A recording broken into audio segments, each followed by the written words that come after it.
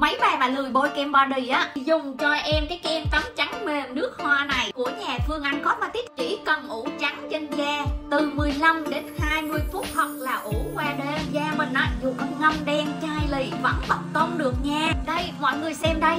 Da tay em vừa mới ủ xong nè. Một tuần thì em sẽ tắm và ủ cái này hai lần. Ủ xong da vừa trắng, vừa thơm mùi nước hoa không cần phải xịt, không bào mòn da, không chăm chích, không ẩn đỏ hoạt chất tẩy da chết thon tông sạch sẽ trên da. Đang mềm mịn tổng sản phẩm này có tinh chất sữa nữa. Nên khi mà dưỡng xong, ủ xong á, trời ơi, cái da mình nó mịn như em bé gì đó. Ủ trắng xong á, mọi người cảm thấy cái da tay của mình nó nó sẽ bật tông ngay lần đầu tiên tắm luôn.